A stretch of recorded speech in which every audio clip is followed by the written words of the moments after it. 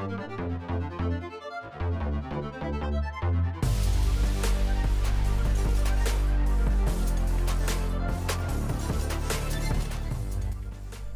guys, Assalamualaikum warahmatullahi wabarakatuh. Jumpa lagi dengan saya, Fajar Custom Pen. Oke teman-teman, untuk project kita kali ini Yaitu helm motor. Dan penampakan helmnya seperti ini ya teman-teman. Ini helm sudah di airbrush kurang lebihnya 2 tahunan Dan di kesempatan kali ini Saya tidak melakukan proses pengecatan ulang ya teman-teman. Karena helm ini catnya masih utuh hanya saja clearnya ini sudah mulai kusam. Nah di kesempatan kali ini saya hanya melakukan proses pengekliran ulang agar penampilan helmnya ini tidak kusam lagi. Dan di video kali ini sebenarnya sekaligus ingin menjawab pertanyaan teman-teman ataupun teman-teman yang sharing banyak yang masih gagal saat melakukan proses pengekliran ulang. Nah di kesempatan kali ini saya akan berbagi pengalaman pengekliran ulang agar tidak gagal lagi khususnya menggunakan cat aerosol dari Diton Premium. Oke setelah busanya ini sudah dilepas kemudian untuk langkah yang selanjutnya yaitu kita lakukan proses pengamplasan dan untuk amplasnya bisa menggunakan amplas ukuran 1000 atau misalkan mau menggunakan amplas yang ukuran 500 bisa menggunakan amplas yang bekas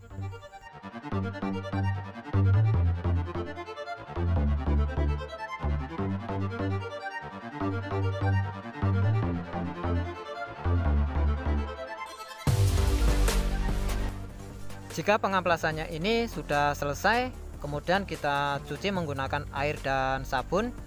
Jika sudah dicuci bersih, kemudian kita jemur sampai helmnya ini kering. Jika sudah kering, kemudian di bagian pinggir-pinggirnya, ini bagian pinggirnya ini kita tutup menggunakan isolasi kertas. Untuk isolasinya seperti ini ya teman-teman. Jika teman-teman ada yang belum paham, ini namanya isolasi kertas Nah seperti ini penampakannya jika di bagian pinggir-pinggirnya ini sudah selesai ditutupi isolasi. Dan untuk langkah yang selanjutnya yaitu proses finishingnya. Untuk finishing saya menggunakan clear plus aktivator 9128 untuk teknik pengekliran ulang agar media yang akan kita clear ini tidak rusak tekniknya yaitu proses pengekliran lapis pertama ini kita semprotkan tipis-tipis terlebih dahulu ya teman-teman. Jangan langsung disemprotkan langsung tebal jika teman-teman pengekliran ulangnya menggunakan spray gun ataupun menggunakan kompresor untuk triknya tetap sama ya teman-teman. Untuk proses pengeklirannya tetap dilakukan secara tipis-tipis terlebih dahulu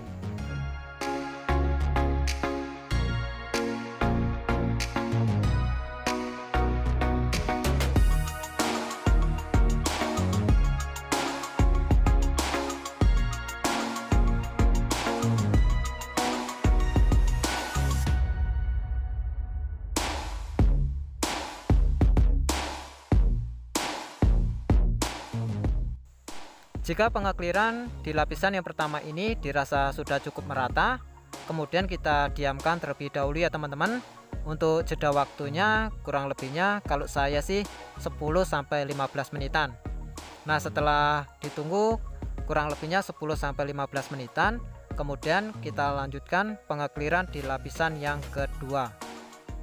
Untuk pengekliran di lapisan yang kedua ini tekniknya masih sama ya teman-teman masih kita semprotkan tipis-tipis saja. Yang penting kita semprotkan merata ke semua bidang. Karena ini nanti akan saya semprotkan tiga lapis. Jadi untuk lapisan yang kedua ini tetap kita semprotkan tipis-tipis. Jadi kita main aman saja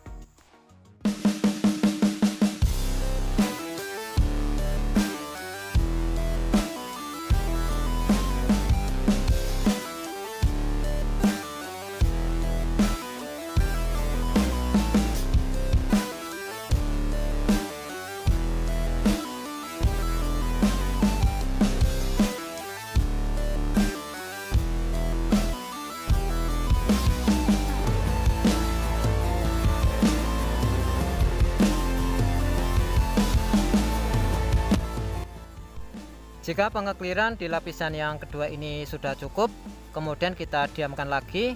Untuk jeda waktunya masih sama kurang lebihnya 10-15 menitan.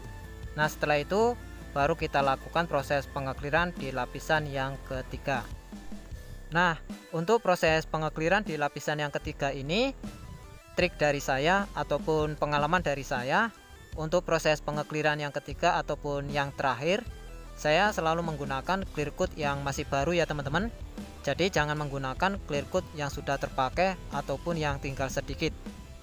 Karena apabila proses pengekliran yang terakhir menggunakan clear coat yang sudah terpakai ataupun yang sudah sedikit, maka hasilnya nanti tidak bisa maksimal. Kebanyakan nanti hasilnya pasti ngulit jeruk.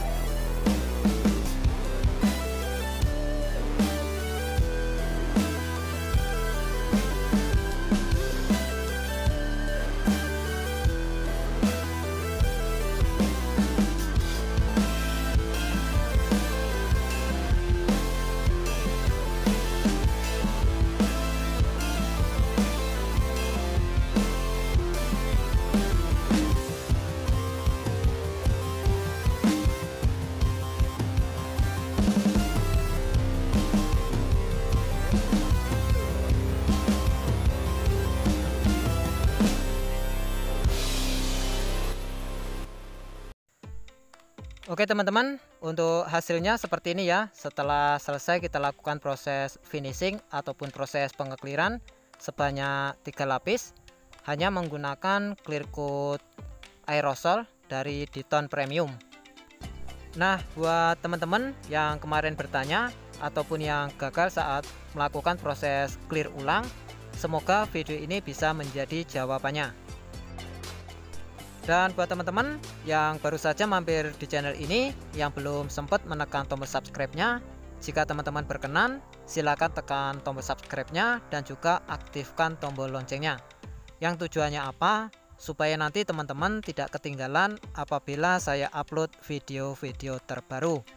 Karena di channel ini saya akan terus berbagi trik-trik dasar di seputaran pengecatan airbrush Oke teman-teman, cukup sekian dari saya Fajar Custom Pen.